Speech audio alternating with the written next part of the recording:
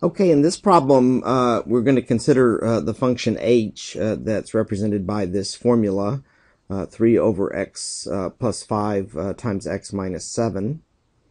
And we want to write the domain of h. So recall from one of our previous examples that the domain of a function is the set of numbers that you can use as input to the function so that the resulting matching output value will be a real number.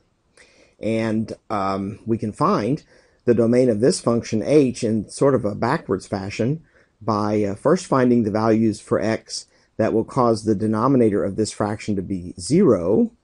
And since we can't divide by 0, uh, we'll exclude uh, those values from the set of real numbers uh, to get the uh, domain of h.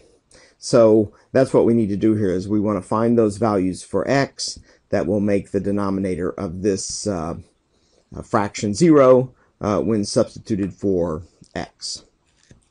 So we can do this uh, methodically uh, simply, simply by taking um, the um, denominator of this fraction, so that's x plus 5 times x minus 7, and setting it equal to 0, and then solving for x.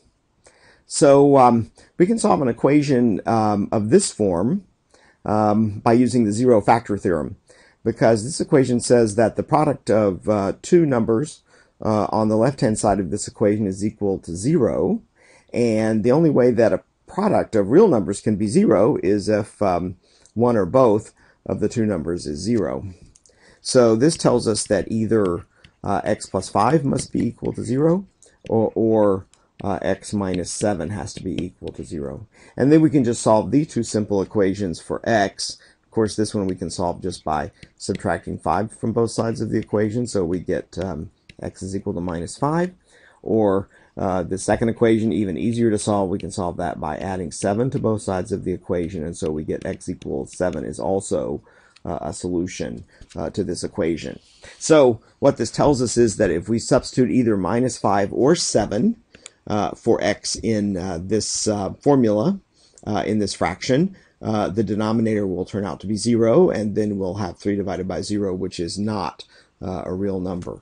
So these are the two numbers that uh, cannot be included in the domain of the function h.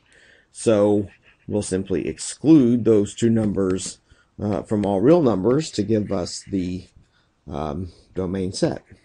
So we can write down the domain um, just verbally in words uh, by saying all real numbers um, except um,